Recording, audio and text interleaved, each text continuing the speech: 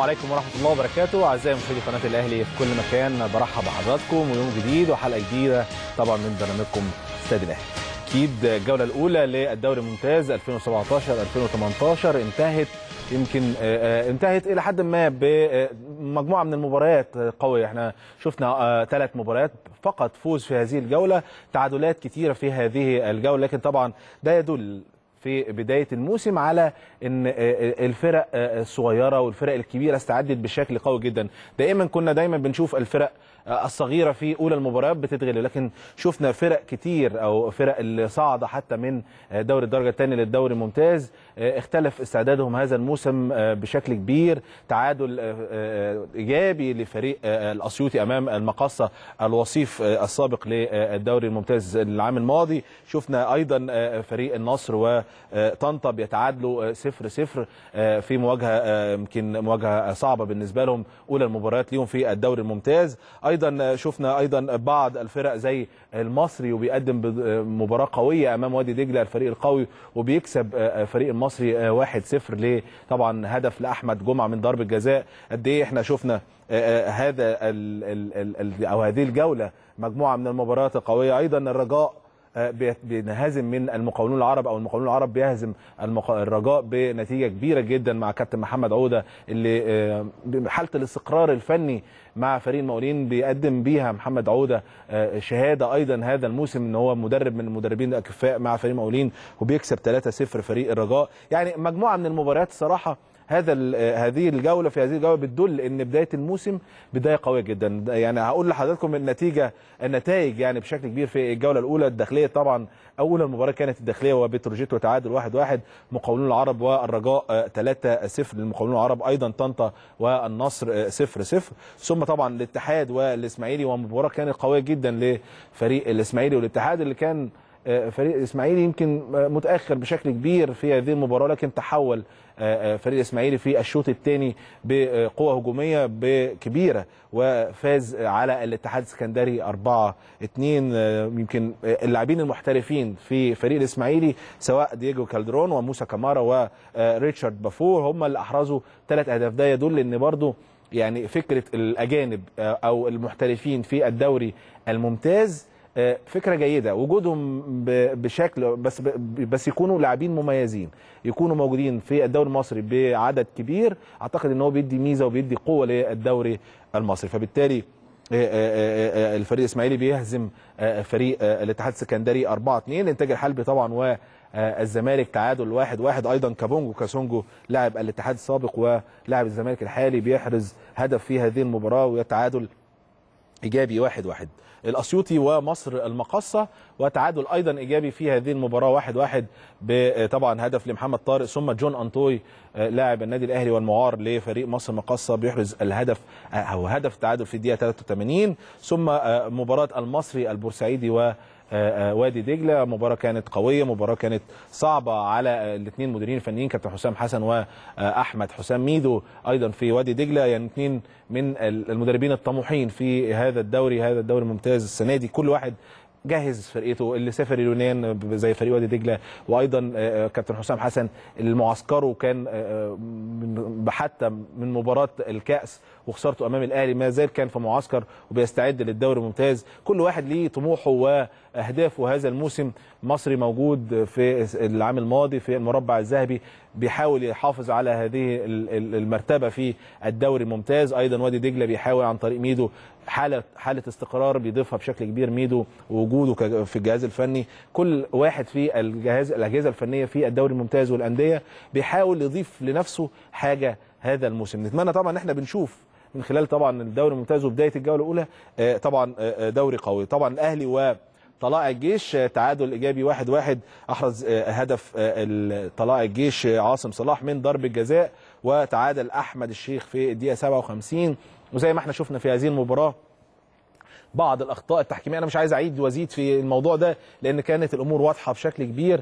آه توقعنا أن يحصل وقف الحكم أحمد حمدي ولكن طبعا كابتن عصام عبد الفتاح رئيس لجنة الحكام وعضو مجلس إدارة اتحاد الكورة طلع ونفى إن يبقى في وقف ولكن هنشوف هل هيبقى في عقوبات على الحكم. هنشوف في الفترة اللي جاية لأن ما ينفعش يا جماعة يعني والله إحنا ما بنضغطش على حد ولا بنحاول نقول أو نفرض رأينا على حد. لا هو مش ده أسلوبنا خالص ولكن في أخطاء. ما دام في أخطاء في كل أنحاء العالم في الدوريات العالمية بيحصل معاقبة للحكام في حاله طبعا إخفاقهم في المباراة. فبالتالي يعني ده اللي إحنا نتمناه. ولكن زي ما كنا بنتكلم مرونه وتكرارا وقبل الاستوديو التحليلي وبعد الاستوديو التحليلي إحنا بنساعد بعض سواء أندية من خلال الأجهزة الفنية داخل الملعب بعدم الاعتراض على الحكام بعدم الاعتراض على أي قرارات بياخدها ولكن في نفس الوقت محتاجين يبقى في العدل اللي موجود داخل الملعب من خلال قرارات من خلال وعي للحكم داخل الملعب من خلال وعي لتحركاته من خلال حتى تطبيق القانون بشكل سليم.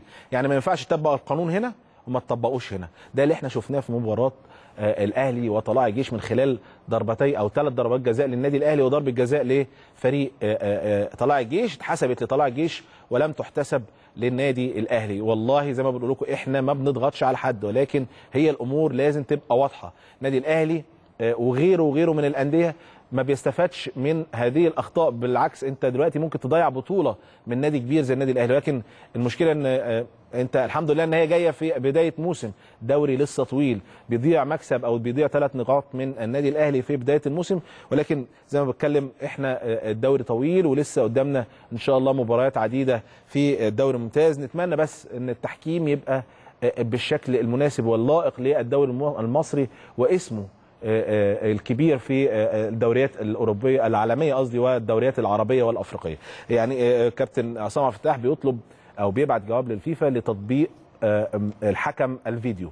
آه حاجة مميزة وحاجة بتساعد إلى حد ما لتقليل الأخطاء داخل الملاعب المصرية. ولكن زي ما بنتكلم دايما اختيار الحكام المميزين للمباريات المهمة ده أو للفرق الكبيرة ده مهم جدا جدا جدا. ما اروحش اختار حكم قدراته ممكن تبقى قليلة. في في مباراة ممكن يكون طرفها الأهلي الزمالك الإسماعيلي الفرق القوية اللي بتبقى الأخطاء بالنسبة لهم ممكن تضيع منهم دوري. ده في حد ذاته إحنا عايزينه من لجنة التحكيم أو لجنة الحكام كابتن عصام عبد الفتاح. وأكيد الحكام لازم كمان تطور نفسها يا جماعة. لازم أنتم من خلال رؤيتكم للفرق مذاكرتكم للفرق من خلال تواجدكم دايما ورؤيتكم للدوري الممتاز لازم تكونوا حفظتوا هذه الأخطاء. أنتوا تطوروا نفسكم زي ما اللعيبة والأجهزة الفنية وبيطوروا نفسهم. لازم كحكام كمان انت كشخص بتعمل واجبك وبتعمل دورك وعملك من خلال وجودك كحكم في مباراة تبقى تطويرك مهم جدا لنفسك. زي ما أي ما بنتكلم أي حد بيطور نفسه في أي مجال ده اللي إحنا نتمناه من خلال الفترة الجاية في التحكيم. أعتقد إن الكابتن عصام عبد الفتاح من خلال طبعا إن هو بيحاول نجيب سماعات قبل كده وبيجيب بعد كده موافقة من الفيفا لحكم الفيديو. ده تطوير أيضا للشكل وبعد عن الأخطاء اللي ممكن نقع فيها. عايز أقول لكم إن الأهلي إن شاء الله من خلال أنا طبعا نسيت أقول لكم إن إم بي في المباراة الأخيرة في الجولة الأولى تعادل مع سموحة واحد واحد هدف اوميد أوكري لسموحة وهدف التعادل لإنبي في دقيقه 51 وده ختام الجولة الأولى. طبعا نتمنى إن الجولة الثانية إن شاء الله تبقى مميزة مصر مقصه والأهلي دي هتكون في الجولة الثانية طبعا اتأجلت بسبب مباراة الترجي. إن شاء الله اللي هتكون يوم السبت يوم 16 سبتمبر. يا رب كل التوفيق للنادي الأهلي. عشان كده النادي الأهلي بيبدأ معسكر الفريق من بكرة. طبعا إحنا شفنا مباراة الجونة أمس وفوز النادي الأهلي 6 0 في هذه المباراة. استعدادا لمباراة الترجي. شفنا مجموعة من اللاعبين شفنا مجموعة من الشكل الفني اللي تألق فيه النادي الأهلي. بالأخص يعني عشان برضو إحنا بنتكلم على اللعيبة. لما يبقى عندنا وافد جديد لازم نحط السبوت عليه بشكل كبير. باكا ماتشمبي أو باكا ماشمبي أو مهلمبي هو لاعب مميز جدا شفناه امبارح من خلال تواجده في المباراة أحرز هدفين.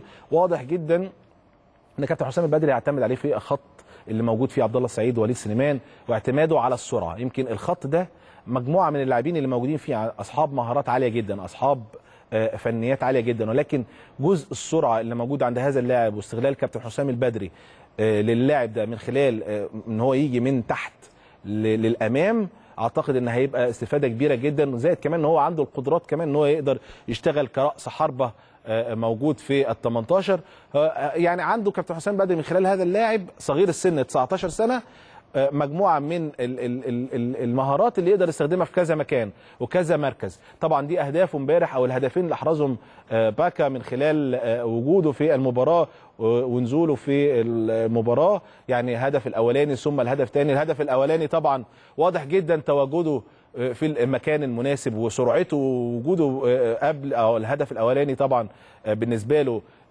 عن طريق عمرو بركات وجوده في منطقة ال 18 وسرعته حتى وإن هو يحط من غير ما يخاف من غير ما يبقى عنده آه، آه، أي مشاكل داخل ال 18 آه، يعني طبعا هو لاعب مدفوع فيه فلوس كتير فبالتالي الأمور دي بالنسبة له سهلة لكن في لعيبة كتير جدا ممكن آه، آه، يضيعوا كرة زي كده لكن ده ثقة بنفسه وجوده في المكان المناسب دي حاجة مميزة. أيضا الجون الثاني واستخدامه حتى لإن هو بيلف آه، إن ت- تبقى عندك لعيب جريء يلف ويلعب الباص ويتحرك آه، بعد الباص بتاعه دي بتبقى قليلة جدا. إن أنت آه، آه، تبقى حتة ال- اللعب الباص وتتحرك بتبقى موجودة أو قليلة في الدوري المصري. ما يبقى عندك عندك اللاعب بالميزة دي. وعنده إن هو يلف. حتة اللفة دي لرأس حربة مش كتيرة برضو. دايما تلاقي راس حربة مدي ظهره لل... لمرمى الخصم ويلعب الباص وانتهى الموضوع. لا ده بيلف بياخد الكورة وبيلف وبيتعامل مع الفرود اللي جنبه. كان عماد متعب طبعا تمريرة رائعة منه طبعا نجم مصر ونجم النادي الأهلي. عماد متعب ووجوده بقى في المكان المناسب والباص بتاعه. حتى لو ما حرزش أهداف عماد متعب تلاقيه بيدي لمسة كده جميلة يحرز منها باكا الهدف الثاني بيه وبيعلن عن نفسه في أولى المباريات الودية ليه آه، آه، ليه مع النادي الأهلي. يا رب إن شاء الله يكون الاستفادة قوية من خلال تواجد هذا اللاعب في الخطوط الاثنين اللي هو ممكن كابتن حسام بدري يتعامل معاه فيه سواء بقى آه، كرأس حربة صريح أو موجود تحت رصات آه، رصات الحربة. آه، يا رب كل التوفيق. طبعا التألق الكبير لمجموعة اللاعبين اللي موجوده اللي طبعا اشترك كابتن حسام البدري أشرك عدد كبير من اللاعبين. آه، أجاييه طبعا بيحرز الهدف الأول بتطمئن عليه أو بنطمئن عليه بشكل كبير للمباراة القادمة. يمكن هو الوحيد اللي يبقى هو المرشح الأول اللي يبقى رأس حربة النادي الأهلي في مباراة الترجي. آه، أيضا حمودي بيحرز هدف. آه، أيضا آه، عمرو بركات من ضربة ثابتة رائعة بيحرزها عمرو بركات وبيبقى موجود. يعني عمرو بركات نتمنى إن شاء الله إنه يبقى متواجد بشكل دوري أو شكل أساسي مع الفريق لأنه لاعب مميز. أيضا ميدو جابر آه، آه، بنتكلم أيضا على آه، كل اللاعبين المميزين حسين السيد كل كل كل اللاعبين اللي لعبوا كريم نيدفيد يعني اتمناهم إن شاء الله يبقوا في أحسن مستوى ليهم في المباراة القادمة أمام ترجي واختيار كابتن حسام البدري من خلال المعسكر. التمرينه يمكن كان فيها النهارده 20 دقيقة بدني للاعبي النادي الأهلي في بداية المران النهارده. طبعا الشغل البدني ده مهم جدا جدا أمام فريق زي الترجي. أنت بتلاعب فريق عنده القوة البدنية كبيرة عنده الشغل البدني متميز جدا شفناهم في البطولة العربية وبنشوفهم عامة في البطولة الأفريقية فريق الترجي فبالتالي إن الشغل البدني بتقدر تتعامل معاه أو تعمله النهارده من بدري شوية. طبعا ده شغل بيبقى آه، حاجة في الأحمال عشان تخش بعد ثلاث أيام وأنت ال- الحالة البدنية بتاعتك بتعملها من بدري فتخش وأنت مش تعبان تخش يبقى في التمرينات التكتيك والخطط اللي ممكن كابتن حسام البدري يحطها أو يتعامل معاها في التدريبات. فالنهاردة كان في 20 دقيقة لفريق النادي الأهلي في بداية المران. بدني فقط وده حاجة مميزة. نتمنى إن شاء الله إن لغاية آخر دقيقة أنت مش عايزين نستعجل. يعني آه، دائما في المباريات الكبيرة اللي بتلعبها أمام فرق كبيرة زي الترجي زي آه، آه، النهائيات اللي ممكن تلعبها دائما بيبقى حتة الاستعجال مش كويسة. فممكن الجول يتأخر إحنا مش عايزين نقلق. كجمهور هيبقى موجود إن شاء الله بكثافة يوم اليوم ده في الم... في الاستاد مش عايزين نقلق. أيضا الجماهير اللي موجودة بتتفرج على المباراة ما تقلقش. أنت عندك فريق منظم فريق آه، جيد عنده مجموعة من اللاعبين والإضافات كمان اللي دخلت آه، في القائمة الأفريقية أحمد الشيخ وليد أزارو آه، هشام محمد. أيضا لاعبين بيضيفوا لفريق النادي الأهلي يا رب يكونوا في أحسن مستواهم أيضا هؤلاء اللاعبين. فبالتالي ما تقلقش على الفريق النادي الأهلي ولكن إن شاء الله تحقيق نتيجة إيجابية هي الأهم في مباراة استاد الجيش إن شاء الله ببرج العرب. ده يعني ده اللي إحنا نتمناه. نطمن على الفريق طبعا من زميلنا حازم البرعي وكان موجود طبعا في تدريب النهارده. حازم مساء الخير عليك. مساء النور كابتن فاروق ومساء كل مشاهدي ومتابعي قناة الأهلي. حازم يعني آه، كل التوفيق إن شاء الله لفريق النادي الأهلي. طمنا النهارده على الأجواء وأجواء التمرين كانت عاملة إزاي؟ النهارده بالفعل الفريق بدأ آه، يعتبر أول تدريباته استعدادا للترجي. عارف يا كابتن فاروق إن كان أول أمس كانت مباراة في الدوري امام طلائع الجيش. بالأمس اللاعبين اللي ما شاركوش في مباراة الطلائع شاركوا في مباراة ودية أمام فريق الجونة الاهلي كسبها ست أهداف مقابل لا شيء النهارده جميع اللاعبين حضروا ما كانش في حد غايب آه، غير آه، وليد سليمان أدى تدريبات آه، في الجيم. لكن جميع اللاعبين أدوا التدريب في في الملعب. آه، شريف إكرامي بس هو اللي أدى تدريبات تأهيلية في البداية. لكن في وقت التقسيمه شارك في في التقسيمه في التدريب الجماعي. النهارده التدريب انقسم ثلاث فقرات. الفقرة الأولانية كانت بدني وإحماء قادها الكابتن أنيس الشعلاني مخطط الأحمال. آه، الفقرة الثانية كانت بتدريبات بالكرة عن لعب لمسه واحدة والضغط على الخصم آه، اختتمها كابتن حسام البدري بتقسيمة في نص الملعب. شارك فيها اللاعبين المقيدين في القائمة الأفريقية. تمام. طيب يعني بخصوص التدريبات المنفردة اللي كانت لشريف إكرامي يعني كان إيه هدفها النهارده؟ لا هو لو تدريب على انفرادات بمعنى أصح يعني. لا هو كان آه، شعور بس بالاهراق شوية. آه. بي- بدأ التدريب لف حوالين الملعب في الوقت اللي كان كابتن طارق سليمان بيقود فيه تدريبات ال- الحراس. وبعد ذلك شارك في في التقسيمة وكان آه، طبيعي جدا يعني ما. كانش في أي مشاكل وهيشارك إن شاء الله بإذن الله في في مباراة الترجي أيضا وليد سليمان آه، في تأكيدات آه، من الجهاز إن شاء الله بإذن الله هيكون متواجد في مباراة الترجي وجميع اللاعبين سواء مؤمن زكريا أو علي معلول كل اللعيبة اللي كان في شكوك حواليهم لا جاهزين طب. وصالح وصالح جمعة حازم شارك في في المران كامل من. أول دقيقة لآخر دقيقة وظهر حتى في التقسيمة بشكل كويس جدا. مم. طيب علي معلول طمني عليه علي معلول أيضا زي ما بقول لحضرتك كابتن آه، وهو ومؤمن زكريا النهارده خدوا التدريب كامل آه نزلوا التدريبات مع اللعيبة آه، شكلهم جاهز جدا آه، بدنيا عاليين ما فيش أي مشاكل إن شاء الله بإذن الله. شاركوا شكله بشكل طبيعي في التقسيمه حازم ها آه آه بالظبط يا كابتن مم. بشكل طبيعي. طيب إيه ال- المعسكر بقى يعني إن شاء الله بداية من النهارده آه، يعني ال- ال- ال plan نفسه أو ال- الشكل خططي للتدريبات هتبقى عاملة إزاي؟ هتكون آه، آه، يعني بكرة إن شاء الله المعسكر بأمر الله. آه، آه، هيكون عامل إزاي يا حازم؟ هو ال- الأكيد إن التدريب بكرة هنا في في التاتش إن شاء الله بإذن الله. ده الصبح. واحتماليه إن هم يسافروا بكرة بعد التدريب أول خميس. الصبح التمرينه ولا بعد الظهر يا حازم؟ لا بعد الظهر بعد الظهر okay. آه. بعد كده السفر لاسكندريه بعد كده السفر لاسكندرية أو ممكن يؤجل ليوم الخميس صباحا آه أوكي. يعني مثلا أنت هتتمرن. ولا تسافر؟ لا تستنى تاني يوم الصبح تسافر على آه. طول. آه. الأقرب إن هم يسافروا بكرة بعد التمرين إن شاء الله بإذن بس لسه ما تحددش يعني كابتن حسام ما حددوش؟ أو كابتن سيد عبد الحفيظ؟ لسه ما- فيش آه ما فيش تأكيد يا كابتن. آه يعني أنا سألت الجهاز لسه ما فيش تأكيد. طيب. آه، فريق الترجي فريق الترجي بقى أنا يعني ما- أعرفش انت عندك معلومات عن فريق الترجي ووجوده في آه، هنا في مصر ولا ما عندكش؟ هو آخر معلومة إن هو هيجي على طيارة خاصة على برج العرب مباشرة قبل اللقاء ب 48 ساعة. 48 ساعة. أوكي. إن شاء الله بإذن الله. تمام. يا رب إن شاء الله التوفيق. حازم طبعا لفريقنا بأمر الله. ولو في عندك أي معلومة تانية اتفضل حازم.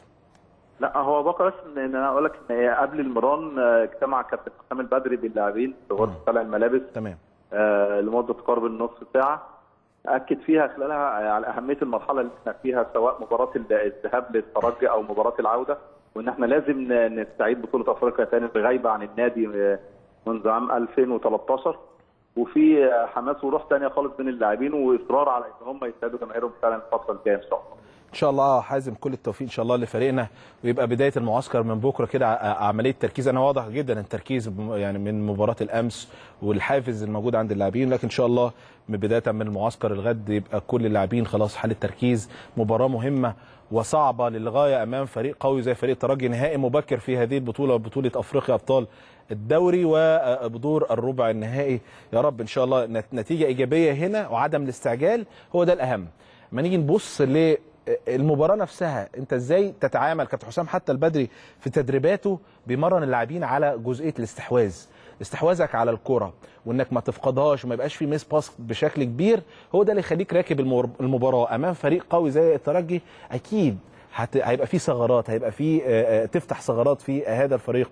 ولكن طبعا محتاج إنك تستحوذ محتاج يبقى في عدم آه، آه، فقدان للكرة كتير آه، آه، تحركات بشكل مستمر زي ما إحنا شفنا كده أو بنقول اللاعب اللي بيقدر يباصي ويلف لازم يتحرك بعد الكرة. وده مهم جدا جدا النادي الأهلي بيعملها بشكل مميز وده اللي إحنا نتمناه مع وجود عبد الله السعيد ووجود لاعبين مميزين إن شاء الله في هذه المباراة وفي حالة تركيز عالية أعتقد إن شاء الله إن الفوز هيبقى حالفنا بنتيجة تريحنا.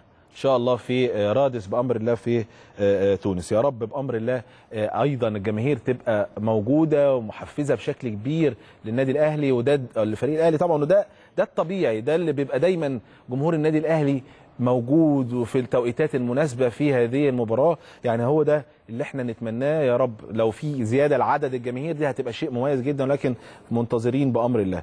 يعني آه، بعد الفاصل هتكلم بقى على بطولة آه، أوروبا ودوري أبطال أوروبا اللي هتبتدي النهارده بمجموعة من المباريات. آه، أهمها طبعا مباراة برشلونة ويوفنتوس. مباراة مميزة جدا طبعا. زي ما بنقول اليوفنتوس خرج آه، آه، في العام الماضي برشلونة من آه، بطولة أوروبا وفي الدور قبل النهائي. فبالتالي النهارده مباراة ثأر بالنسبة لفريق برشلونة إلى حد ما اللي بقاله فترة مش في مستواه الطبيعي. أيضا سيلتيك بيلاعب باريس سان جيرمان ومانشستر يونايتد بيلاعب بازل وروما بيلاعب أتلتيكو مدريد وبايرن ميونخ مع اندرلخت وتشيلسي. مع آه، كارباكا آه، الاذربيجاني وأولمبياكوس اليوناني مع سبورتنج لشبونة ثم أخيرا بنفيكا آه، البرتغالي مع ساسكا موسكو. فاصل وهرجع بقى أكمل كلامي مع ضيوفي عن هذه هؤلاء يعني المباريات دي وأيضا عن الجولة الأولى ورأيهم في الجولة الأولى في الدوري الممتاز.